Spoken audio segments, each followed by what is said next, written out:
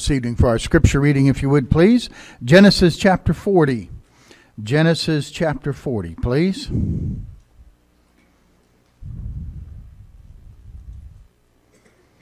We're going to read verses 20 through 23 of Genesis chapter 40. Not very long verses. Let's just read them all in unison together tonight, all right? And uh, so we'll just read 20 through 23 together of Genesis chapter 40. And as our custom is, let's stand together to read God's word.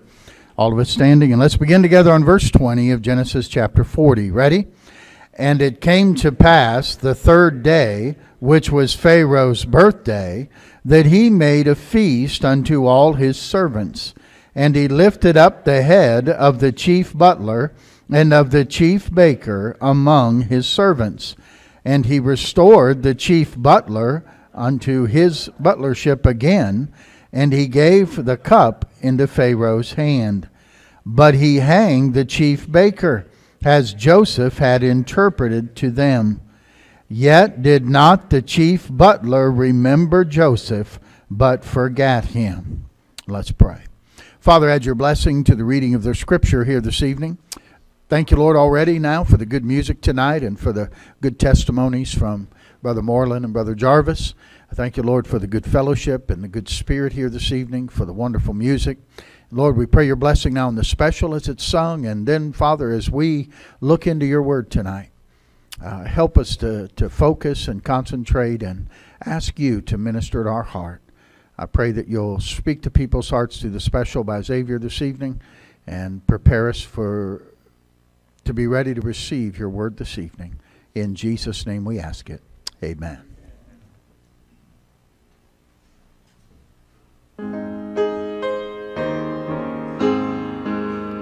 All praise to him who reigns above in majesty supreme, who gave his son for men to die, that he might men redeem. Blessed be the name, blessed be the name, blessed be the name of the Lord. Blessed be the name, blessed be the name, blessed be the name of the Lord. His name above all names shall stand, exalted more and more at God the Father's own right hand, where adore. Redeemer, Savior, friend of man, once ruined by the fall, thou hast devised salvation's plan, for thou hast died for all. Blessed be the name, blessed be the name Blessed be the name of the Lord. Blessed be the name, blessed be the name, blessed be the name of the Lord. His name shall be the counselor, the mighty Prince of Peace, of all earth kingdoms conqueror, whose reign shall never end. Blessed be the name, blessed be the name, blessed be the name of the Lord. Blessed be the name, blessed be the name, blessed be the name of the Lord. Blessed be the name, blessed be the name, blessed be the name of the Lord. Blessed be the name, blessed be the name, blessed be the name of the Lord. Amen. Amen. Now, Father, we bow before you in prayers. We come to the preaching of your word tonight. Thank you for the Bible. Thank you, Lord, that we have copies of it tonight, and I pray that we would give our attention to your word this evening. Lord, we're a needy people, and we need you to speak to our hearts tonight. So, Lord, and by thy Holy Spirit, uh, give us what we need this evening. Help me as I bring the message, and help the people as they listen to the message tonight. Lord, I pray your will will be done these next few moments that we spend together. In Jesus' name, amen. Genesis chapter 40, if your Bible's open there, and I want to talk to you a little bit tonight about the forgotten man, the forgotten one, if you will. And, you know, it's a terrible thing to be forgotten. Um, we, you know, if you don't, you don't go to, uh, you don't grow up uh, with a family at church without occasionally, uh, especially when you're the pastor, uh, maybe it happens to other folks too, especially if you have husband and wife and you drive separately to church. Uh, we got home one Sunday when our children were little, and my wife, we got down, sat down to eat dinner, and Amy was there, and Nathan was there, but Andy was not there. And oh, I don't, I don't remember how old he was. Not, not probably four or five years old. And we're trying to figure out where Andy is. And my wife thought I had him, and I thought she had him, and where he was was he was sleeping on the front row of the church. And uh, we had to drive back to church, unlock the door, walk down there. He's still sleeping. He had no idea. Uh, probably would have slept there the afternoon. And uh, but uh, we, we he was forgotten. He was forgotten, and people can be forgotten. You know, I read a, a survey here that uh, the things that people most often forget.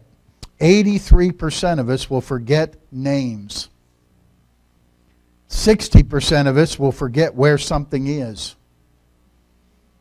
57 of us will forget phone numbers. How many, especially now that they're programmed into your phone, how many you find out you don't know numbers like you used to? Yeah, absolutely. Used to be you had to memorize those things, and now you just know I it's in my phone. I'll just get it. Words, we forget. 53% of us forget the words that we that, that are said. So, 42% of us will forget faces. Um, if you can't remember whether you've just done something or not, then you're about like 38% of the population. It's amazing what we forget. Answers to prayer can be forgotten. That's a sad thing, isn't it? We can forget what God has done for us. In the story tonight from Genesis chapter 40, Joseph was forgotten. He's been in prison and and he meets in prison the butler and the baker of Pharaoh. Uh, he had gotten angry with them one day and threw them both in the slammer. And while they're in there, they meet Joseph and uh, they have a dream, and Joseph interprets the dream and he tells them what it is, and it comes to pass exactly as Joseph said it would. And on Pharaoh's birthday, he brings uh, both the butler and the baker out. He cuts the head of the baker off and he keeps the butler. And the butler, when he knows that his dream is good news and that he's going to live, he tells Joseph, I'll remember you. I'll, I'll, I'll, I'll get you out of here, man. And uh, don't worry, I'm going to I'm gonna put in a good word for you. And notice what the scripture says in verse 23 Yet did not the chief butler remember Joseph, but forgot him or forgot him. How long? For a week or two? No. A month? No, oh, just a couple months. No, verse 1 of chapter 41. It came to pass at the end of two full years. Imagine Joseph sitting there in the prison with the calendar on the wall and marking off the days, you know. Well, one of these days, I'm sure it's this week he's going to remember me. And week goes by, and two weeks go by, and a month goes by, and two months go by, and six months go by, and a years go by. And I'm sure he said, Forget it, man. He's never going to remember me. I'm forgotten. He forgets for two whole years. And if we're not careful, we forget some people too. And I'm going to submit to you tonight, we've forgotten some people. And, and by and large, I'm talking now the church as a whole, but maybe even us as individuals. And one of the first forgotten people that I think we've forgotten about is the missionary. The missionary can be a forgotten person. They're called to the mission field by God. They begin to prepare. Maybe they're called in school, or maybe they're called and then they go to get some training and some preparation. And then they have to travel and begin to try to get support from churches. And that's a process that can take, uh, uh, depending on the size of the family and depending on the field they're going to, it could take three years, four years, five years, uh, depending on the amount of money that needs to be raised and the support level they need to have. And then sometimes after that, they have to go to language school. and, and learn the language for the place they're going, and then they travel uh, to a foreign land, and you know what happens? We forget about them. It's true. They no longer hear from people at home anymore. One missionary said this When I left for the field, I predicted we would be forgotten within six months. He said, But I was wrong. It was two months. Within two months, he said, No more, there, was no more emails, uh, no more text messages, birthdays and anniversaries were forgotten.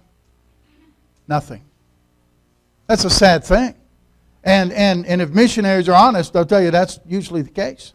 Even though we have means to stay much more in touch now than what we ever have. Missionaries can be forgotten people. How can you not forget the missionaries? Hey, some of the missionaries here tonight would, would testify to you there's nothing quite as sad as walking into a supporting church and people asking who you are. Hmm? Or, welcome, are you new to the church? You visiting?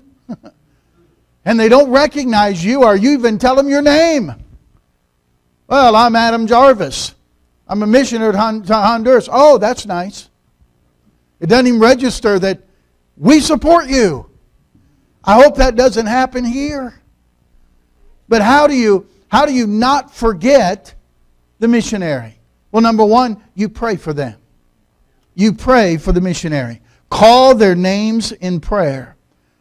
The missionary will testify to you and I know listen, I know sometimes they say, "Well, listen, we we want your prayer support as much as we want your financial support. And I know sometimes you sit in the, in the, the pew or in the chair and you say, yeah, sure. But they mean that. They need your prayers. They need you to go to God on their behalf. You have, you have no idea and, and sometimes your testimonies of missionaries who certain things happen on the field or they needed something in a certain way and God provides it and they think, wow, that was great. And, and they realize somebody must have been praying during that time. Somebody must have been praying for this. And, and you have to have people pray. But the other thing it does, when you pray for people, you remember them. You remember them. The Fennel family. Have you been praying for them? By name? Have you prayed for uh, brother and Mrs. Fennel? Bill and Amy Fennel?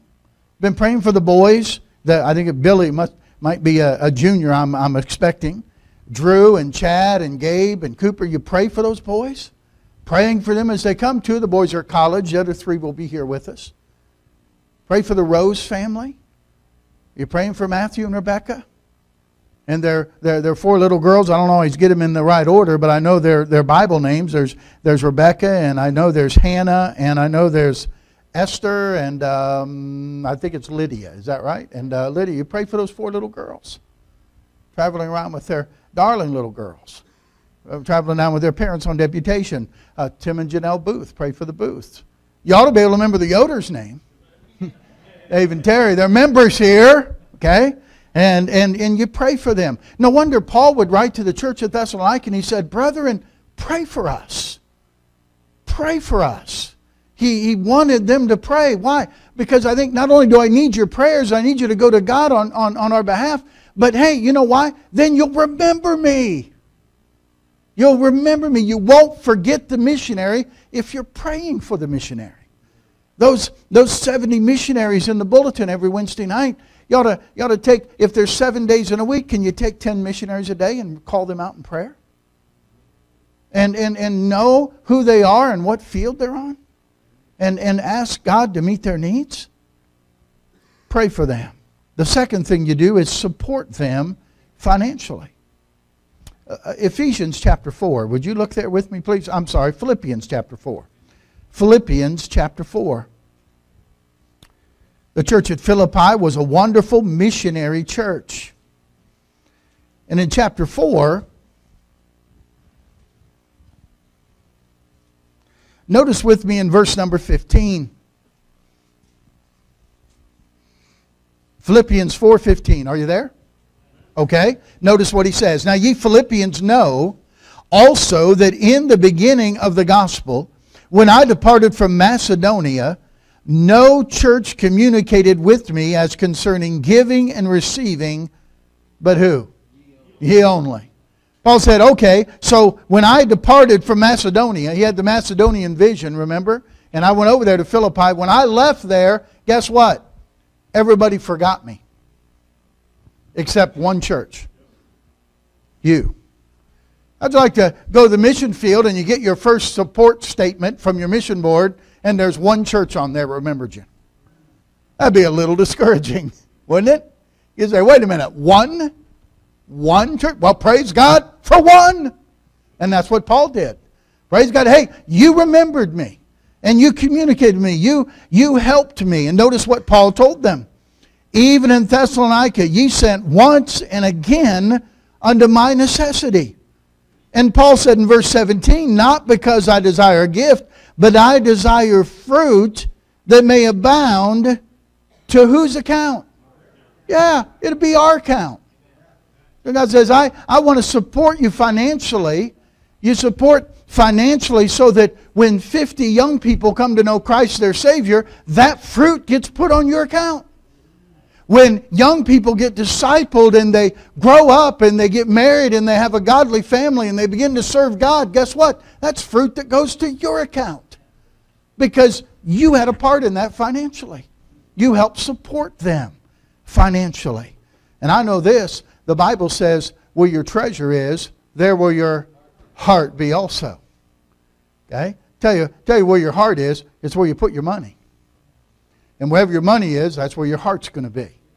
And, and so he supports them financially. And by the way, it's, it's through, it's to this church who, listen, who gave once and again to the missionary, the Apostle Paul, that God gave this promise in verse 19.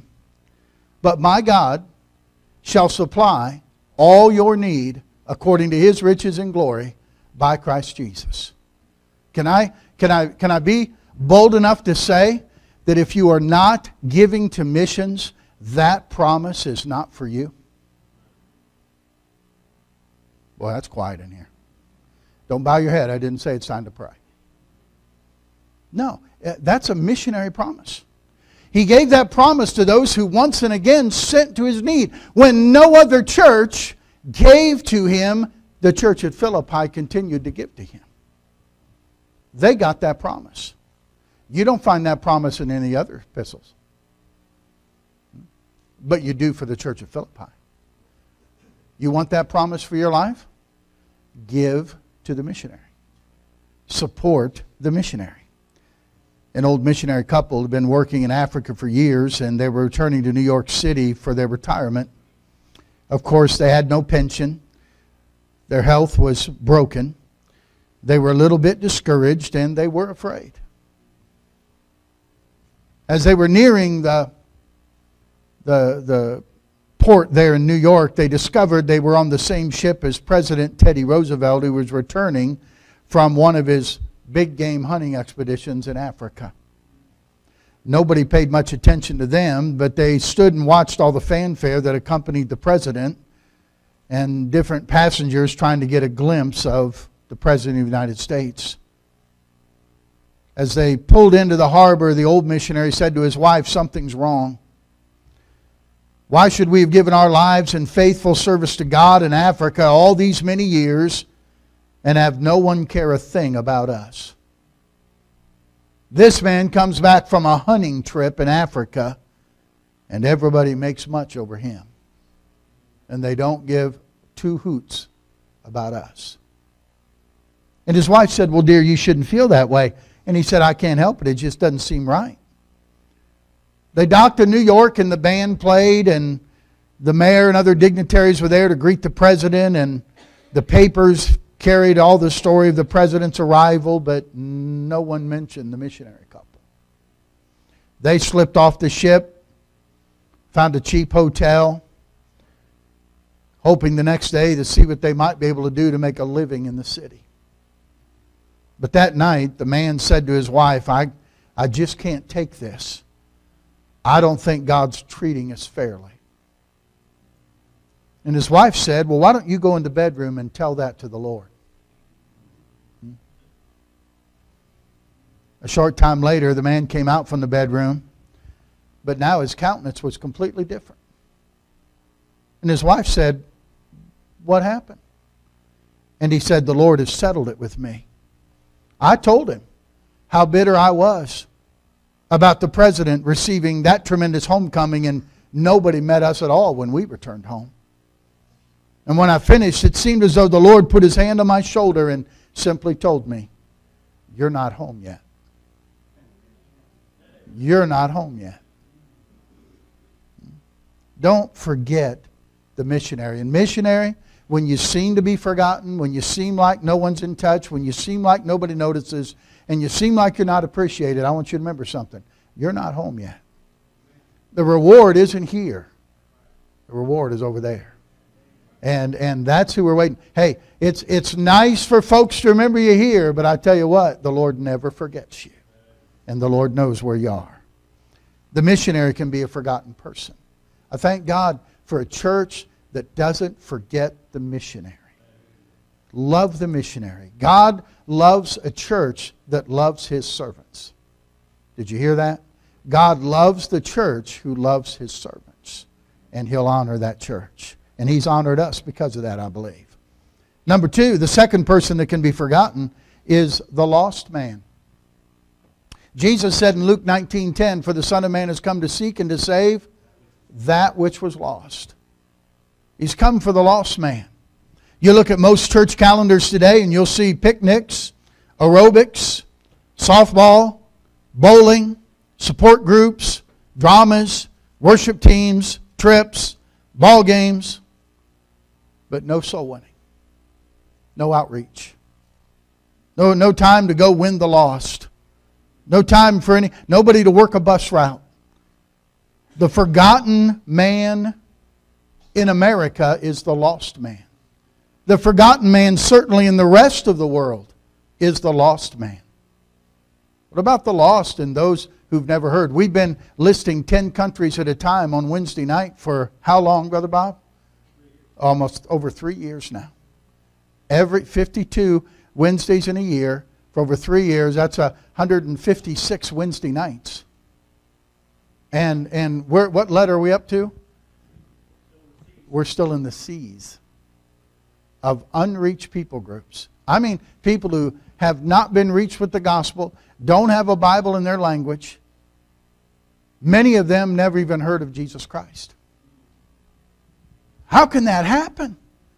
In a, in a day when, listen, when, when I hear of people who come over and they, they take them way up into the mountain and they say, we're going to go meet some people and, uh, you know, they, they, they've never heard of Jesus, they've never heard the gospel, and they take them off the mountain and the chief comes out and wants to give them a gift. And you know what he brings out to them? A bottle of Coca-Cola. How can Coca-Cola get there and we can't get there with the gospel? How can somebody have passion for sugared colored water more than we have for the gospel of Jesus Christ? How can they want them to have a Coke more than we want them to have Jesus? And they're all over the world. What about the lost men in Siberia? What about the lost in Iran? What about the lost in Kyrgyzstan? What about the lost in India? What about the lost in China? What about the lost in the Middle East? I think about that lame man who laid by the pool of Bethesda for 38 years. For 38 years he laid there. And remember when Jesus said, Do you want to be made whole? And the what fellow said? I have no man to help me. Wait a minute. No man? Doesn't he have a family? Doesn't he have friends? Doesn't he have anybody that know him? That and I guarantee you he had to have parents. He had to have a family. He had to have some brothers and sisters. He had to have some relatives. He had to have some acquaintances. He had to have somebody who knew him, but they had forgotten about him. And for 38 years, he was forgotten. Forgotten by others, forgotten by his friends, forgotten by his family, but wasn't forgotten by Jesus. Jesus was there to take care of him. We studied this morning again the prodigal son in Luke 15. And all of Luke 15 is Jesus emphasizing that, that he receives sinners, that he's come for the lost. Whether it's the lost sheep or the lost coin or the lost son, He's coming for the lost. Oh, that we don't get off our focus and, and realize that we need to go after the lost people. Why do, you, why do you have missionaries? Because people are lost. That's why. Why do you have a bus route? Because people are lost. Why do you have tracts and go out and give the gospel? Because people are lost. Why do you have a radio broadcast? Because people are lost. We need to get the gospel to them.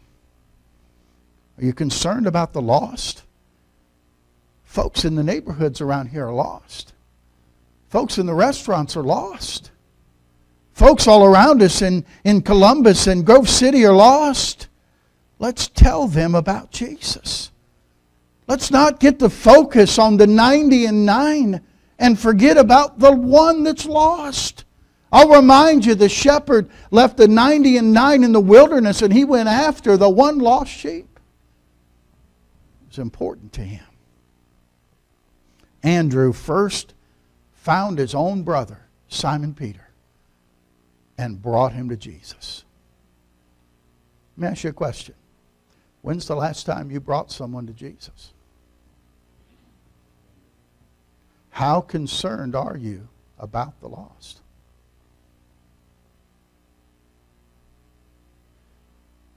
The lost man's a forgotten, forgotten man. The missionary's a forgotten man. This one may surprise you. The third one, the lost, the, the, the forgotten man is the Son of God.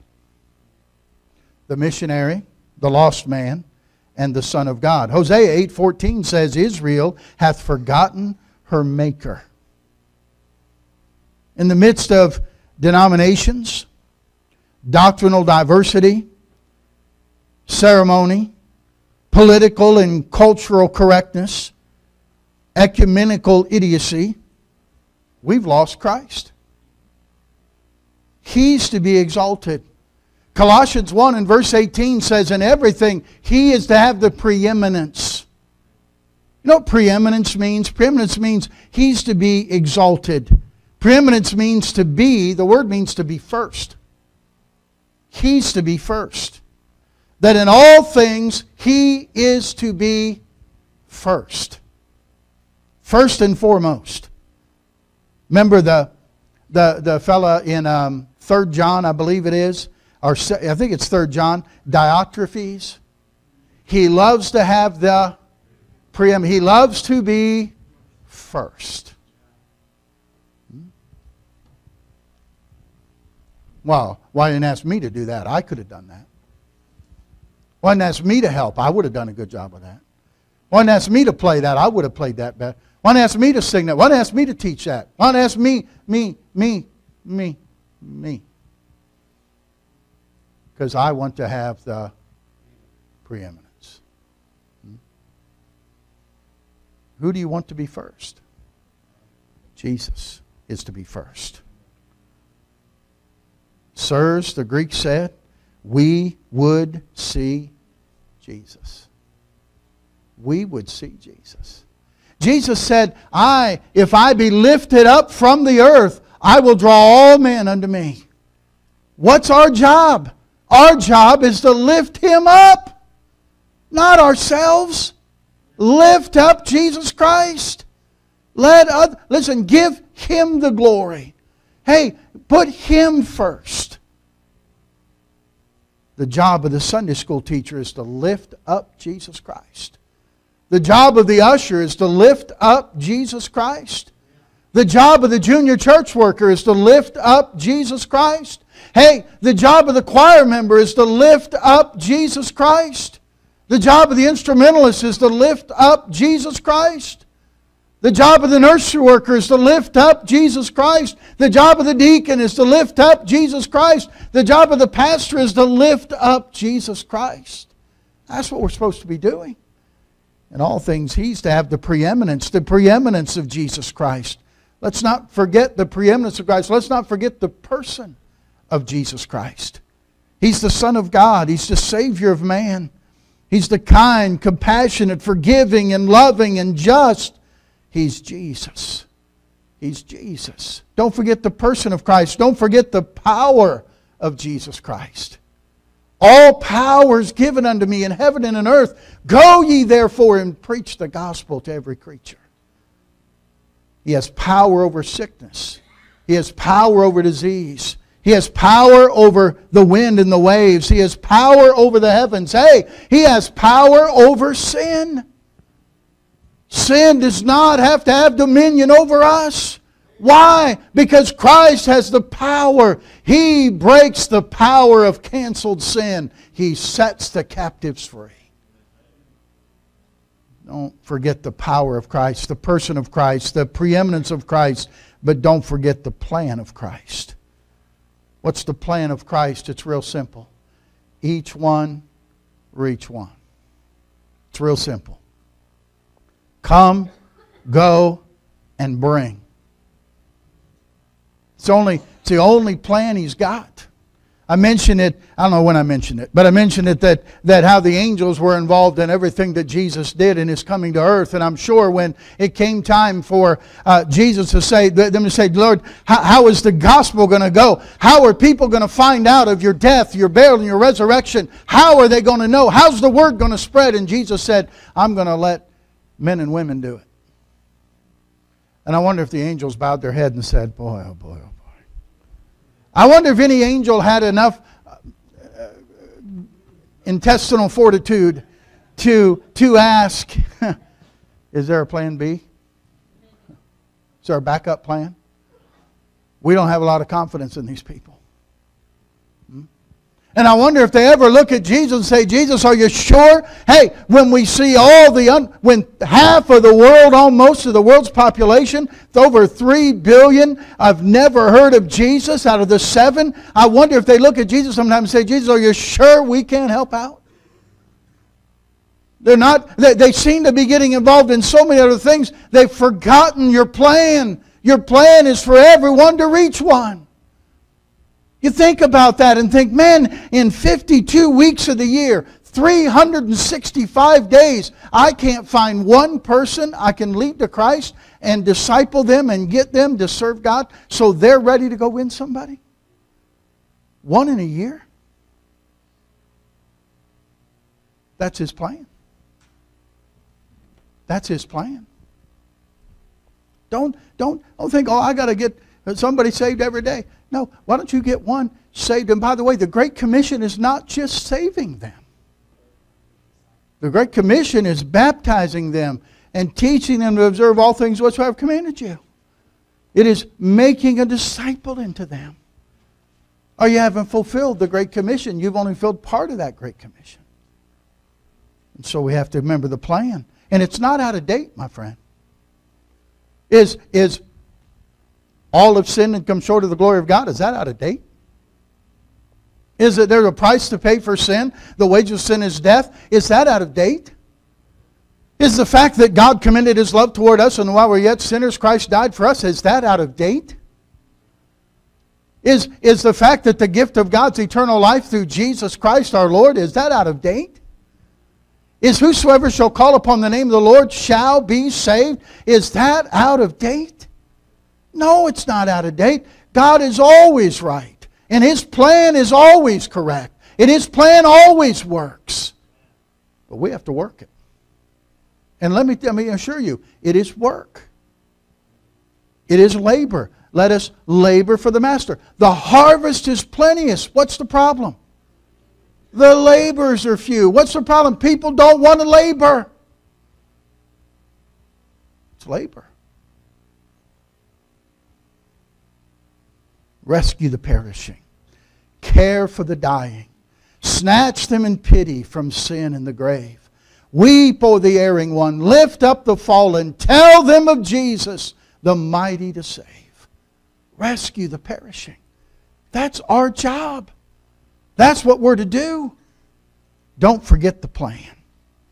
I want to ask you a question tonight. Have you forgotten the missionary? Have you forgotten the lost man? Have you forgotten Jesus Christ? And the way you forget Jesus Christ is he's no longer first. You become first. It becomes more about you. Well, I'm doing this. Where's everybody else? Am I the one around here that works? Hmm? What's everybody else doing? See? And you're focused on you instead of focused on Him.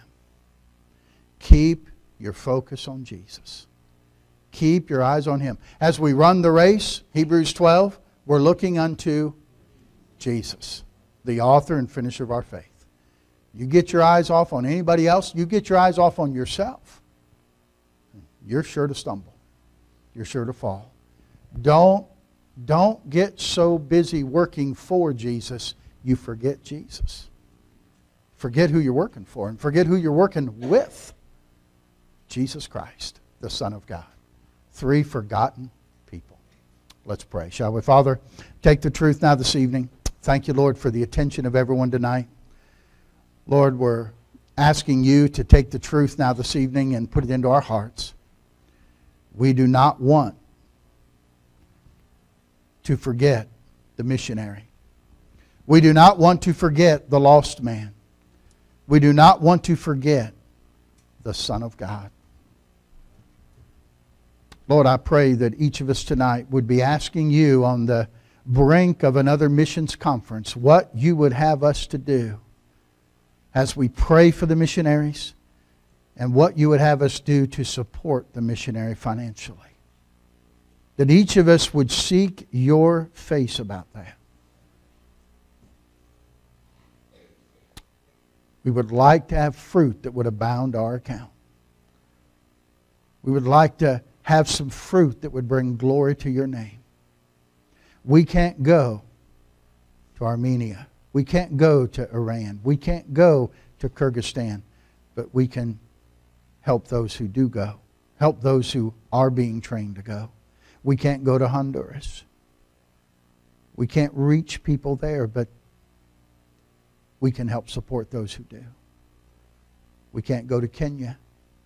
We can't go to the Philippines but we can help those who do. Oh, God, help us. Help us not to forget the lost. Burden us, Lord, to seek the lost. As the Father has sent you, even so you send us. And help us to go forth from this place this week to seek and to save the lost. Don't let us forget the lost man. And then, Father, help us tonight to remember the Son of God. That He would have preeminence in our lives. That we would know the person of Christ and the power of Christ. And we would be carrying out the plan of Christ. We love you. Speak to our hearts. Heads are bowed, eyes are closed. I'll finish praying in just a moment. I wonder how many folks here tonight would say, Pastor, I I know that if I died tonight, I'd go to heaven. There's a time in my life when I knew I was a sinner and I needed to be saved and that Jesus was the Savior I needed. And there's a time when I know that I put my faith and trust in Jesus Christ alone as my Savior. And, Pastor, I know tonight if I died, I'd go to heaven because my faith is in Jesus Christ. Would you slip your hand up as a testimony and say, Pastor, that's me. I know that I'm saved. All right, you may put them down here tonight would say, Pastor, I don't know that for sure. But I'd like to know that. Would you let me pray for you? So somebody here tonight would say, Pastor, I'm not sure. If I died, I'd go to heaven. But I appreciate you praying for me. I am concerned about it. Would you just slip your hand up and put it back down and say, Pastor, pray for me tonight? I'd be happy to do that. You couldn't raise your hand the first time, but you raise it now. Is there someone like that would say, pray for me? I think the message was to believers this evening. I wonder how many tonight would say, Preacher, God spoke to my heart. Maybe it's about the missionary. Maybe it's about the lost man. Maybe it's about the Son of God being preeminent in your life, His power in your life, His person in your life, carrying out His plan. I wonder how many believers here tonight would say, Preacher, the Spirit of God has spoken to my heart tonight. I want you to pray for me as God deals with my heart. Would you slip your hand up, Christian, and say, Pray for me tonight, Pastor? God bless you. Amen. Amen. Amen. You may put them down. In a moment, I'll pray. We'll have our invitation. If God has spoken to your heart, I want you to respond to Him tonight. Some of you ought to just come and kneel at the altar and say, Lord, what would you have me do at this missions conference? What would you have me to do? What would you have me do as far as my praying for the missionaries? What would you have me do as far as my supporting the missionaries? Some of you need to bow your knee and say, God, it's time I start winning the lost. It's time I start witnessing again. I go week after week after week, and I never really think about lost people. They're forgotten to me. Whatever it is God's dealt with your heart about, respond to Him tonight, will you? Heavenly Father, thank you for speaking to hearts tonight. I pray for your will and your way now in this invitation. May each one do what you're bidding them to do in their heart. And we'll thank you for it. With your heads bowed, stand to your feet. As you stand to your feet, our pianist will play. As she plays, Brother Bob's going to sing. God has spoken to your heart. Respond to him this evening, will you please? Oh, soul, are you weary That's right. and troubled? No light in the darkness you see. There's light for a look at the Savior, and life more abundant and free. Turn your eyes upon Jesus. Look full in his wonderful face, and the things of earth will grow strangely dim in the light of his glory and grace. Through death into life everlasting, he passed and we follow him there. Over us sin no more hath dominion, for more than conquerors we are. Turn your eyes upon Jesus, look full in his wonderful face, and the things of earth will grow strangely dim in the light of his glory and grace. His word shall not fail you, he promised. Believe him and all will be well. Then go to a world that is dying, his perfect salvation to tell. Sing that chorus with them. Turn your eyes upon Jesus. Full in his wonderful face,